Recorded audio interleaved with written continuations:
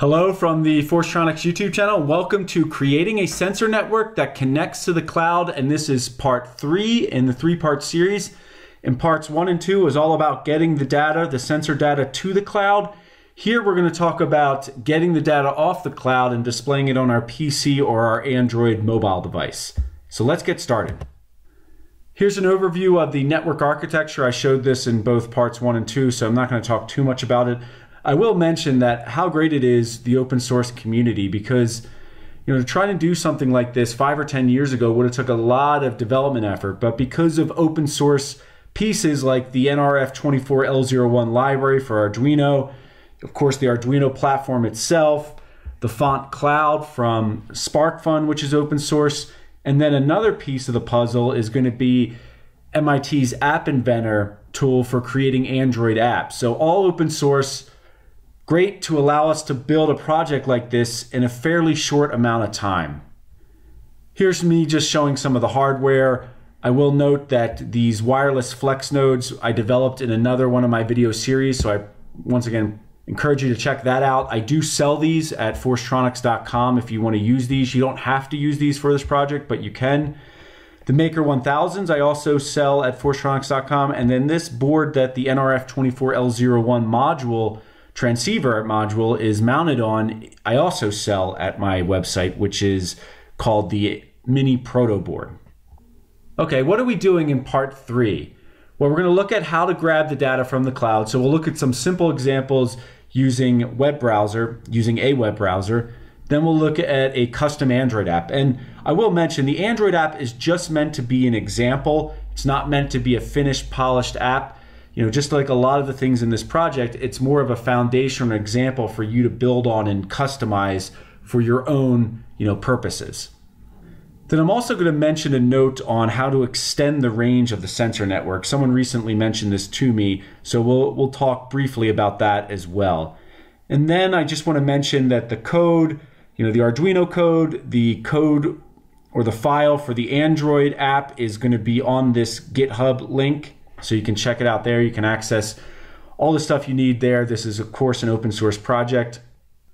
Let's talk about easy ways to get the data that we put on the cloud off the cloud. And all this stuff I'm going to show here is, is uh, information I got from the documentation on Phant. So I'm not going to go into a great detail on it, but you can get more details on it with the link below. So Phant has a number of HTTP requests that allow you to get the data and filter the data. Here are some example file formats. I shouldn't say example. Here are the file formats you can get the data in CSV, JSON, JSONP. You know, some of these other ones are more for if you're using Java in a web browser to creates a format that's easy to leverage there. Here I have an example HTTP string on that you can use for accessing the data in a CSV file. Of course, you need to put your key in here, your public key in here in place of this word public key. And then you can also use different filter methods. So if you don't want to grab all the data you have on the cloud, because you can have a lot up there, I think they allow what 50 megs, so that's a lot of data to grab. If you just want to grab pieces of the data, they have a lot of filtering tools. Here's an example I'm going to show, and we're going to use in the app an equal then. So EQ stands for equal then. Then I specify the field, and my field is going to be node, and then one. So this you know, if you had your public key in here, this would grab all the sensor readings logged for node 1 and would not grab the other ones for node 2, node 3, or, or so on and so forth. So let's look at some of these examples real quick. Okay, here's an example CSV file that I grabbed and I opened in Excel so you can see the different fields, the node, the temperature, the timestamp, the battery state, and as well as the timestamp that Phant adds. And so once you have it in the CSV file format, of course, you can filter it, you can plot it, you know, whatever. Then here's the data inside a web browser that I grabbed using the equal then, equal then node one. So remember this format because we're actually going to use this for grabbing data for the app, the equal then. So it gives you the order of the different fields. So node, and I just grabbed it from node one. So we're, we're expecting all this to be one. Uh, temperature, data, timestamp, battery state. Notice that I have a zero for the battery state. This is going to be used in the, the example. and then I have the timestamp from Phant. So those are some easy ways to grab the data and you know analyze it on your computer itself. Now here's what we're going to do next. So we're going to show an, a video of the app in action as well as some of the network pieces in action. So we'll show that. And then next I'm going to go to the MIT App Inventor tool to look at the app that we built, the example app we built for grabbing the data. Okay, so what you're looking at is my coordinator. So this is the MKR 1000. Here's the mini proto board with the NRF24L01 mounted on it. Now, notice I'm not using the ones I was using in the past, the NRF24s with the PCB antenna. I'm actually using one that has an extra power amplifier to get increased power, to get increased range, and has an antenna mount on it. Now, I wanted to mention this as how to get better range. So you can use the PCB ones with the antenna on the PCB. They're fine. They get they get decent range amounts, and it depends on how you're using them and the moisture content in the air, where you're using them, as to determine the exact range you're going to get. But if you want to get long range, I would recommend these modules with the shield on them. There's a lot of different versions of these out here, and a lot of the PA or power amplifier versions don't have a shield on it. And if you try to use them for receiving data, the high powered antenna actually blanks out, or I should say, the high power transmits actually blanks out the receiver if you don't have this shield, and then you can't get the acknowledge packets, and then it looks like the transmissions failed. So this is a topic I maybe will do a video on in the future, but if you want longer range, you know, hundreds and hundreds and hundreds of feet, I would recommend these these versions with the PA, but also with the shield on it. And so in this setup, my coordinator is going to have one of these on it, and my Node 2 is going to have one on these, one of these on it. And I actually have Node 2 outside my house, way in the back of my backyard, you know, hundreds of feet away through walls. And we're going to see the communication works fine. Now note, if you have sensor nodes close by, you can still use the, the smaller transceivers. So there is the coordinator. You can also see my phone there. I'm just going to show the serial monitor I don't know how clear this is, but it's just showing that we're getting data from the nodes. Then I'm going to show node 1. Okay, so we saw node 1. I have it hooked up to this advanced power supply. And what I did was I'm simulating a low battery condition. So I set the voltage for just above 2.7 and this is going to trigger the low battery condition on the sensor node, uh, basically stating that, oh no, the battery's still good enough, but it's dying, so you need to change it soon. And if you're wondering where does that come in or, or where did we add that feature, that is in the wireless sensor node video series that I did. So in the code there, there's in my library the, uh, I think it's called WS node .h file, that's where you set the thresholds for a low battery. So in this example, I think I have it set for 2.75. You can also see, just as a note, that the sensor node is actually asleep right now. Look at the low current we're getting. So anyway, that's that's the reason that I have it hooked up to this power supply. So I'm simulating a low battery condition without having the battery die. Okay.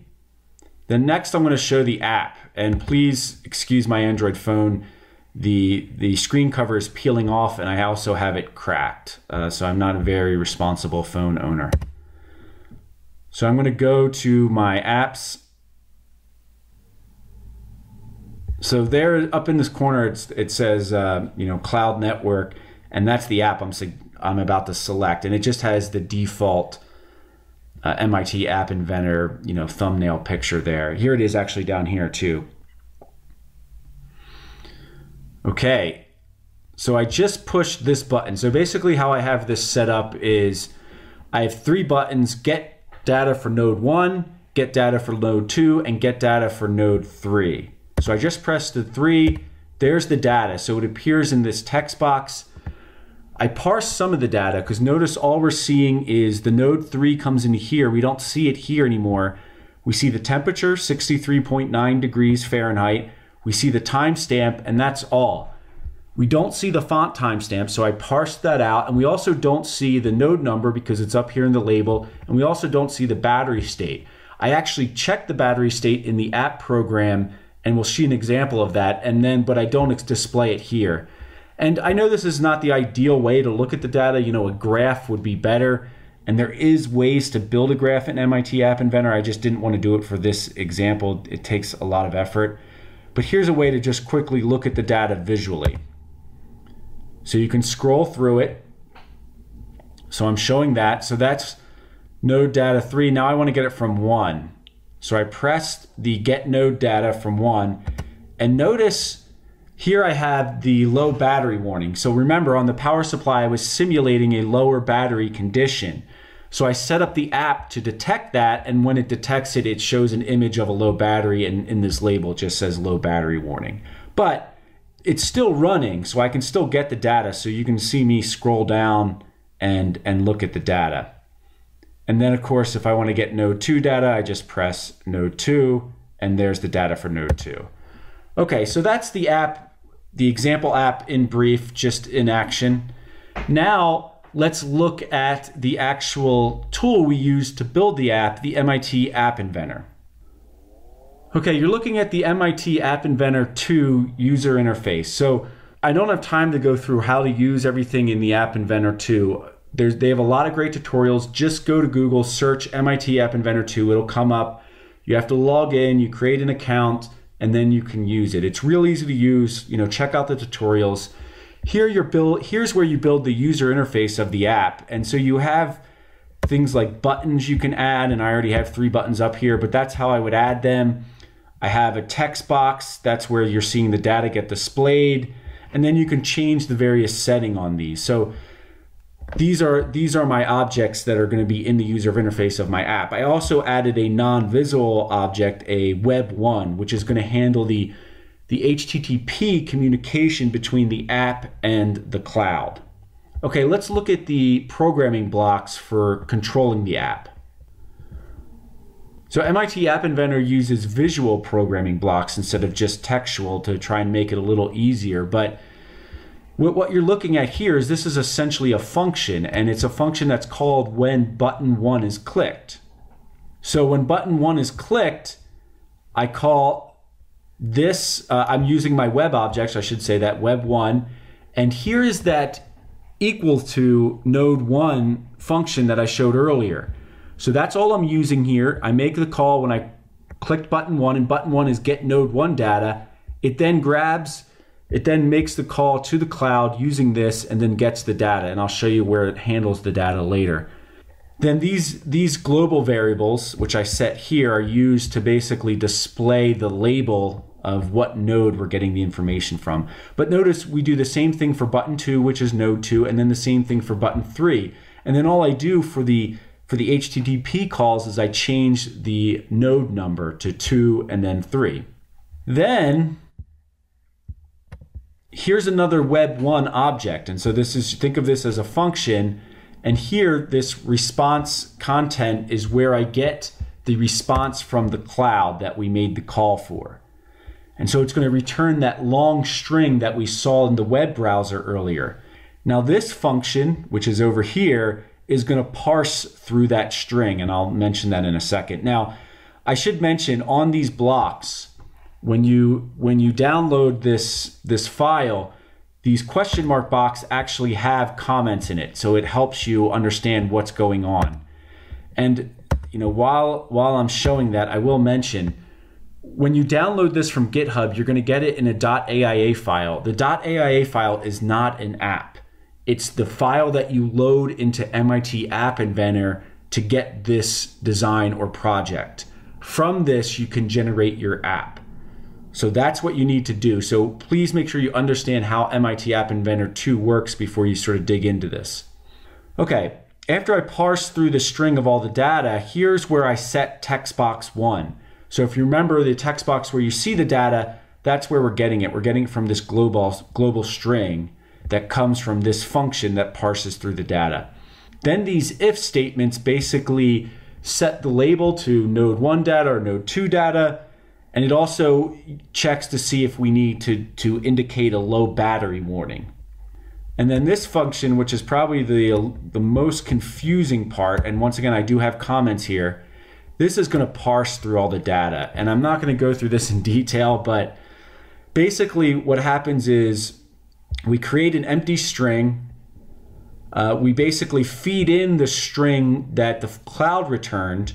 We break it into array lines and we separate these array objects by Z because if you looked at the data in the web browser, there's a Z at the end of the Phant timestamp. So I break up all the lines into array items, and then I use this loop to go through the array items and pull out the information we're interested in.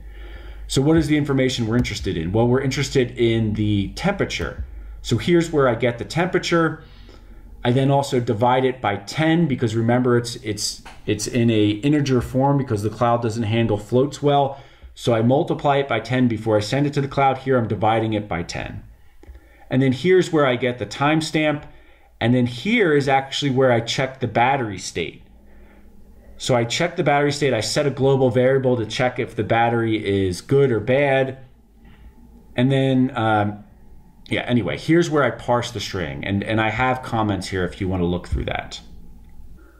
Okay, that's it for part three and for this project. So I really enjoyed this project. There was three parts, but it also leveraged parts from other series. So I think we covered a lot here. Once again, I'll mention this is this is meant to be more of a foundation or example for you to build on. It's not meant to be sort of a finished, polished product.